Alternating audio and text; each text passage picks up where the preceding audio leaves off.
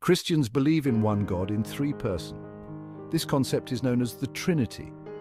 As it is written in Deuteronomy chapter 6 verse 4, Hear, O Israel, the Lord our God, the Lord is one.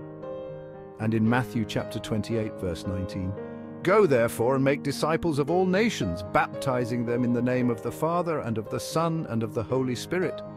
Subscribe for more insights